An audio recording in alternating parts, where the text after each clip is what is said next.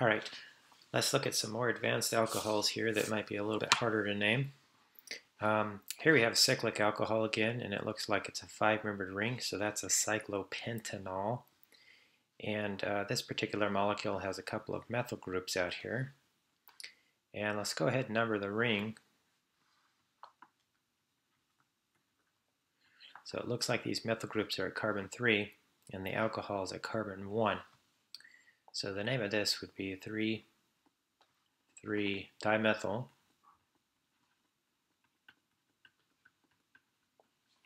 cyclopentanol. A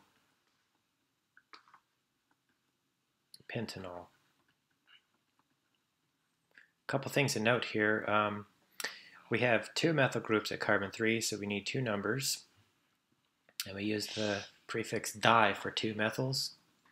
And we don't have a number for one because uh, we just have one functional group here, a hydroxyl group, and that by definition again is located at carbon 1.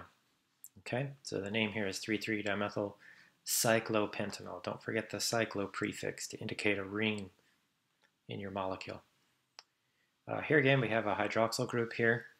You want to look at the longest chain in the molecule that contains the hydroxyl group. let's go ahead and number from lowest to highest. Here we would number from left to right to position the alcohol at the lower numbering.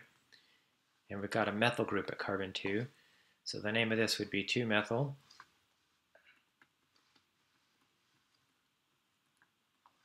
2-butanol. Now when you have an acyclic or just a branched or straight chain alkane, um, you need to have a number that designates where that hydroxyl group is connected to. So the full name here is 2-methyl 2-butanol.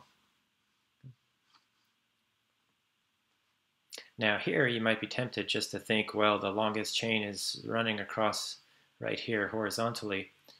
But if you look carefully, you'll be able to see that the longest chain actually zigzags through the molecule here, and it contains six carbons.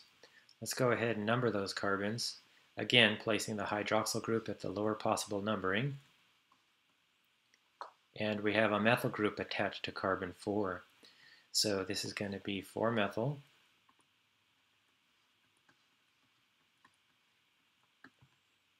Two hexanol. Okay, so all of these alcohols end with OL, indicating that they're alcohols. Hexanol has six carbons. Here the longest chain is easy to recognize, but we have two alcohols. How do we name this? Something like this would be 1,3 propane diol.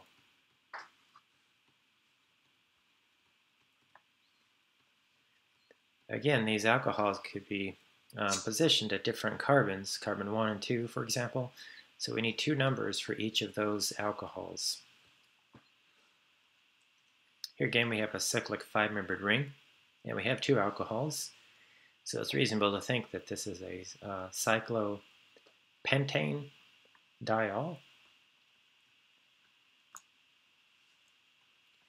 Um, here we have one hydroxyl group on a wedge and one on a dash, and that arrangement we call trans. So at the very beginning we want to set this up with trans and the alcohols are located at carbons 1 and 2. It's cyclic, so again you want to use the uh, cyclo prefix for a ring.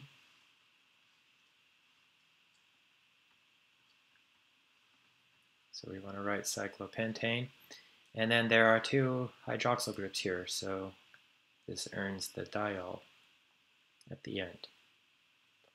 Okay, here's another relatively simple one locate the longest chain. And again, we want to number it so that the alcohol is at a lower numbering. Uh, we've got a methyl group at carbon 2. So the name of this molecule is going to be 2-methyl. 1 butanol. So those are some examples of naming various alcohols.